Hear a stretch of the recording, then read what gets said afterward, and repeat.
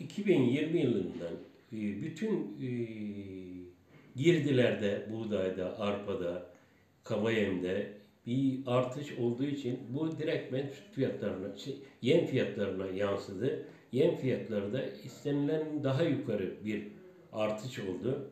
Buna istinaden süt fiyatlarına hiçbir kıynaşma olmadığı için Haykop camiası olarak Türkiye genelinde genel başkanlığımız nezaretinde bir çalışma yapıyoruz. Bunu e, TATTEP'deki yetkililerimize, bakanlığımıza, Cumhurbaşkanımıza varası duyurmaya uğraşıyoruz. İnşallah uğraşımız bir sonuç verir. Bütün çalışmalarımız sadece süt, şu an süt fiyatları üzerinde. Şu an süt fiyatları 2300-2200 yöresel olarak değişiyor. 2500'e kadar çıkıyor.